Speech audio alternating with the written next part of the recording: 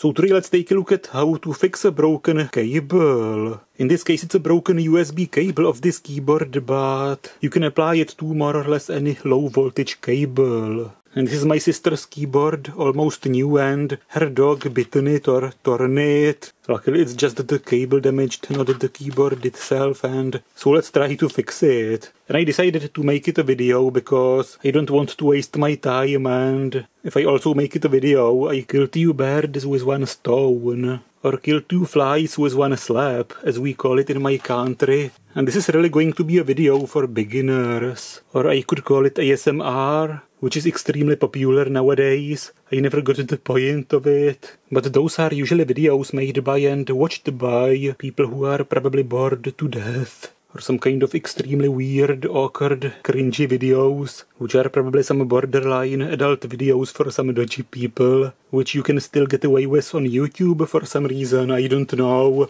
But now let's go back to this, and let's call it a video for beginners. So let's actually see how to fix this cable. It seems to have four wires in it, which is typical for USB cables, plus one shield, which has no insulation on it, and it has this outer insulation over it. And the cable is also bitten here a bit, so I have to shorten it here and cut this one, probably here, because it's a bit bitten here. I don't know what's the condition of the strands inside of it. I decided to cut it here and here.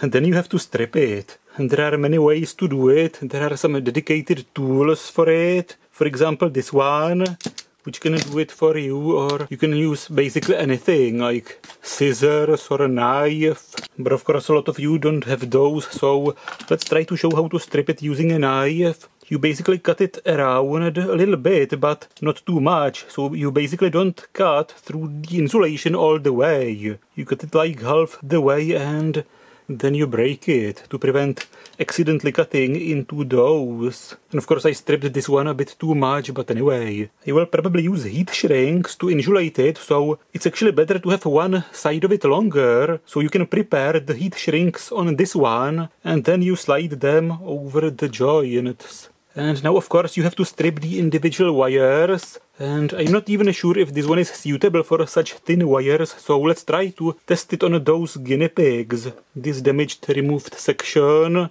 So let's see what happens. Does it destroy the wire or... Well it actually works. And some of those might do even more wires at once. Is it possible? Well, kind of. Did it break the green one? Okay, so let's do it better one at a time. Well, those ones are so thin, I can actually strip it with my fingernails. Of course, don't sue me if you break your fingernails doing this. And of course, some people even use their teeth. Which also works, as you can see.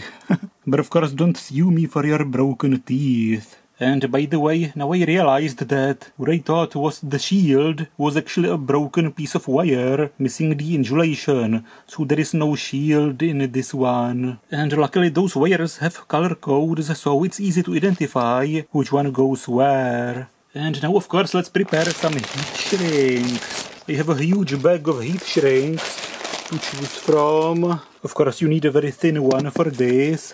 Those er are the thinnest ones I have. Maybe even thinner ones would be better, but anyway, let's try those. Let's basically cut four pieces of it. Two, three, four. And let's prepare them on the wires. And this one is probably too long because it's better to have it clear from the soldering joint. The heat from the joint will make it shrink before you slide it over it. So it's better to have it shorter and prevent this. This is probably the right length. And of course transparent ones are good because then you see when you slide it into the right place. Right over the joint, so the joint is in the middle of the heat shrink. Now let's try to twist it and solder it. It's possible to twist it like this, but it's quite tricky to do. So it's also possible to twist it like this and then bend it especially with a lot of thin wires this is just easier to do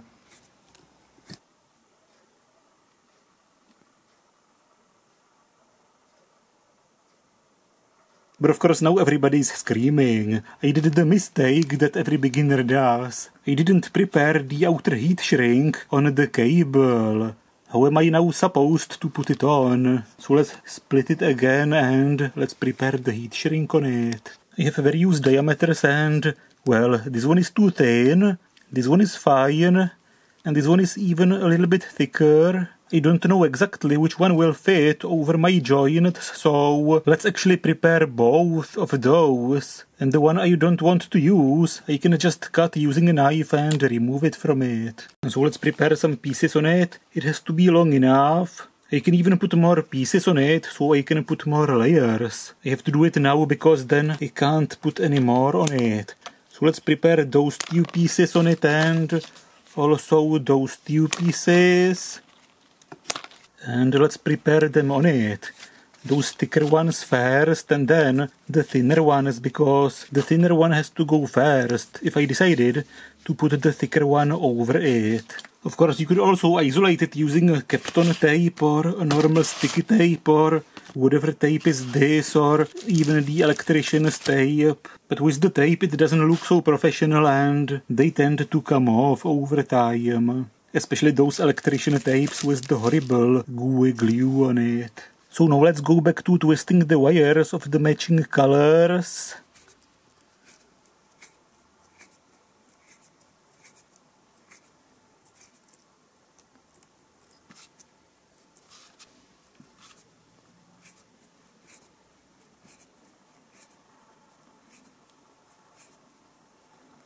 So let's twist it and then solder it. Of course, you could leave it just twisted without soldering, especially if you have no soldering iron, but this is a desperate solution, which might work, but the connection is not too reliable then. And now, of course, let's solder it using a soldering gun or iron, some solder and some rosin.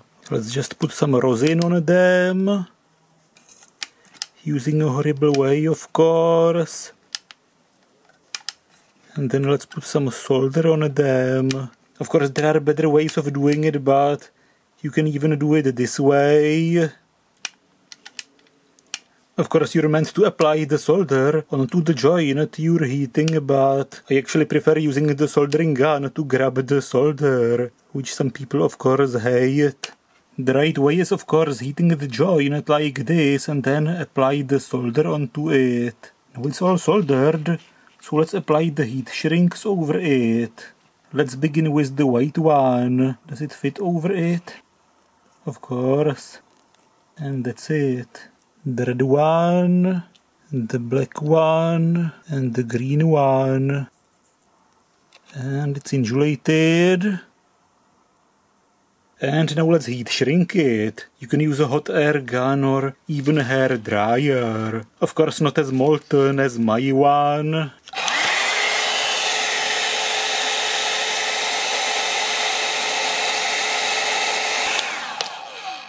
And that's it. Now it's nicely shrunken. Hopefully just shrunken, not molten. So don't overdo the heating. And of course the blue heat shrink doesn't fit over it, so you have to cut it away and use the black one I have prepared. And this one has to go. But you never know how thick it's going to be beforehand. And the black one fits over it nicely. So now I can heat shrink it. I think I could even apply a little bit of super glue on each end to glue it to the heat shrink so it doesn't get pulled out. Just a little bit. And now heat shrinking it.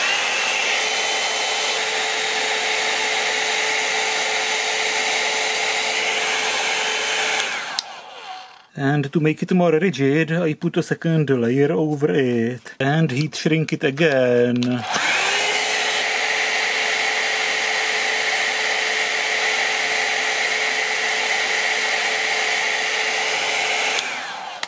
And that's it. And of course with a side, it would look a bit better if the second layer was a bit longer than the first layer. Now let's try to test it. Let's plug it in and the illumination works in it and it seems to be working